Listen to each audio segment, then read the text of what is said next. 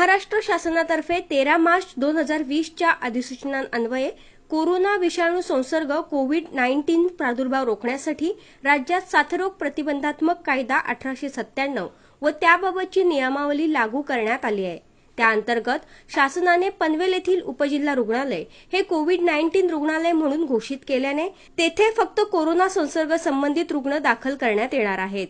त्यामुळे पनवेल शहरातील गावदेवीपाडा ज्येष्ठ नागरिक हॉल बांठिया शाळेसमोरील समाज मंदिर खारघर सेक्टर बारा येथील कम्युनिटी सेंटर कामोठे सेक्टर आठ येथील एम एम आर शाळेच्या मागे तसेच कळंबोली सेक्टर पाच येथील समाज मंदिर बिल्डिंग या सहा नागरी प्राथमिक आरोग्य केंद्रांना सर्दी ताप खोकला अशा केवळ कोरोना विषाणू संसर्ग लक्षणे असणाऱ्या रुग्णांवर उपचार करण्यासाठी घोषित करण्यात आले आहे.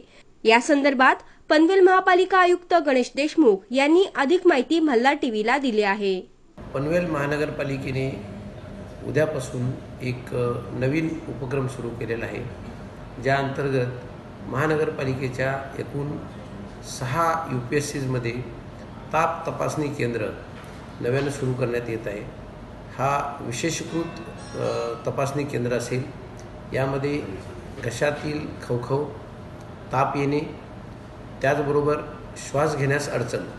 अशी लक्षणं असलेल्या नागरिकांना माझं आव्हान आहे की कृपया आपण ज्या एरियामध्ये राहता त्या एरियातील अर्बन पब्लिक हेल्थ सेंटरमध्ये तात्काळ जाऊन आपली तपासणी करून घ्यावी.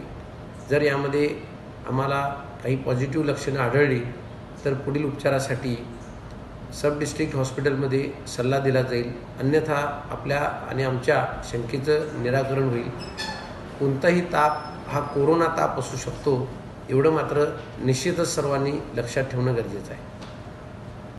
पनवेल आणि नवी मुंबईच्या ताज्या घडामोडींसाठी मल्हार टीव्ही न्यूज सबस्क्राईब करा आणि बेल आयकॉन दाबून रहा अपडेट.